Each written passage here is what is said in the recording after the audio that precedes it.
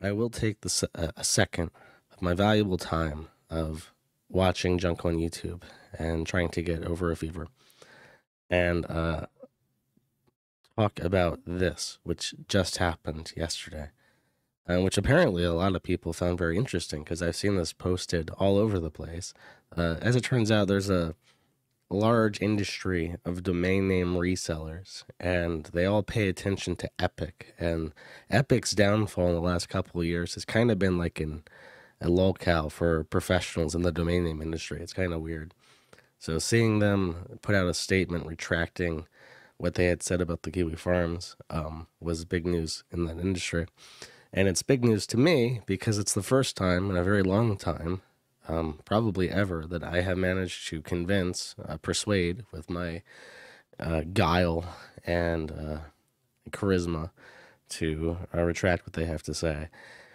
Um, I was not, I have, despite this, I was unable to convince a certain other person um, to do the same. So now that this retraction is out, to not retract uh, their statement, um, that is indication of actual malice, which is important to a website like the Kiwi Farms um, when you go to court over defamation. So I will once again ask very nicely if someone would like to work with me to undo the damage that has been done um, by their statements uh, out of court, because now they have no basis whatsoever to continue without a retraction.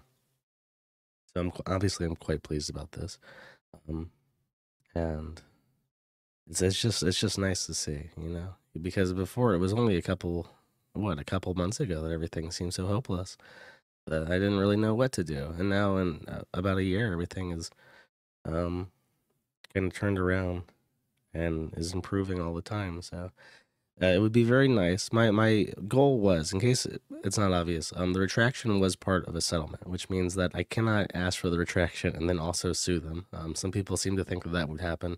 Uh, it's not that they preemptively jumped out of their way to try and placate me. It's that they um, were uh, came to an agreement with me in regards to this. I did not have to sign an NDA, by the way, so I'm allowed to talk about this. Um, the other part of this is that I have a uh, or will receive a business certified copy of this retraction so that um, I can proceed with litigation if I have to in regards to other people. And then the third thing I asked from them is to help reclaim a domain name that I've lost because they use an intermediary RIR um, to, uh, or the the intermediary did seize one of our domains, and I still haven't gotten that back. And it's a very big pain in my ass because it's not fair that I don't have this domain. Um, so they've agreed that they will make reasonable efforts to help me reclaim this domain from the registrars who have uh, stolen it from both of us effectively. Um, quite frankly, I'm I'm happy because Epik is um, Epik is a failing company and they've been acquired by a large company. And I don't want to deal with a large company. I would rather focus my efforts on people who are emotionally invested and for whatever reason, um, trying to censor the Kiwi farms. And the other people on my list of people I would like to deal with are definitely much more of a personally invested threat on the forum. So Epik just sort of, this is kind of how I wanted it to go. Epik would say, okay, well, let's not deal with the crazy people.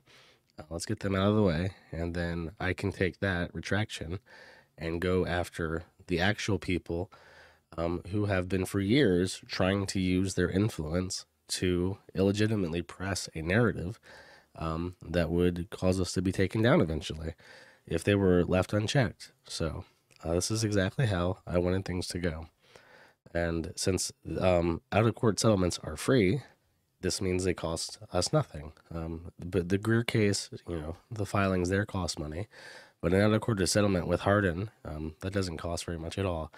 Uh, there's certified post involved, but that's not too much. So this is a very effective way of getting very close to what I want very quickly. And I'm very happy about it, even if I don't sound very happy because I'm sick. So I hope everyone has a lovely Tuesday, and hopefully I will be well enough to see you on Friday. So take it easy. See you then. Bye bye. Thank you for watching this clip. This is the CACA Welfare. Remember to like and subscribe.